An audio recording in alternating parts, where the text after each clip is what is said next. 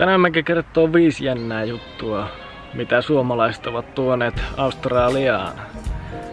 Eli mitä meikä on, meikä on nähnyt täällä tuota yllättäviä suomalaisia juttuja. En, ei me suomalaiset ihan täysiä pöllöjä olla kyllä. Että aloitetaan sillä, että jos sä menet Australiassa 7-Eleveniin ja otat kahvin sieltä, niin kahvin päällynen, se on tällainen Huhtamäen, Huhtamäen päällynen. Eli sä oot suoraan tuota Huhtamäki on toimittanut kaikki tuota 7-Elevenin kahvikupin kannet.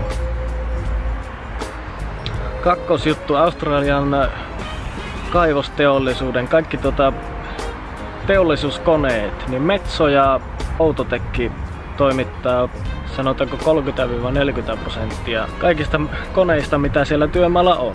Hyvin suurella todennäköisellä, jos olet kaivoksella töissä ja et jonkinnäköistä, jonkinnäköistä työkonetta, niin se on suomalaisten toimittama. Sitten tuota, jos tahansa ostaa sohvan Australiassa, niin kyllä täältä löytyy asko. Täältä löytyy askoja, millä pystyy käydä sohvaa ostamassa, että ei ole mikään huono juttu. Sitten tulee heti tietenkin jos meet hissiin ihan missä vaan, niin suurimmaksi osaksi ne on koneen hissiä. Eli ei ole mikään pelle juttu sekään. Ja koneen, koneen sisäryhtiö Kone Cranes toimii myös täällä, joka on ilmeisesti, onko se nyt teollisuuskoneihin sekin tuota enemmän painostunut, mutta se on tuota myös ihan vastaavasti täällä toiminnassa. Ja yksi hauska juttu, meikän pomo esim, esimerkiksi, niin se juo pelkästään Paulikin kahvia. Sillä on Paulikin kahvia varasta täynnä, mutta sitä nyt minä en tiedä, onko se itse hakenut ne vai mistä se on hommannut ne, mutta Paulikin kahvia juu, melko jantteri. Hmm.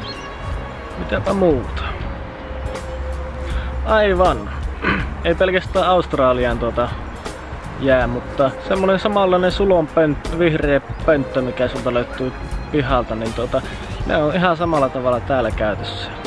Myös oli tuota Malesiassa oli vastaavasti ja Indonesiastakin sulon roskikset löytyy, että, tai roskiksia löytyy, mutta ne on, käynpä katto ihan tosta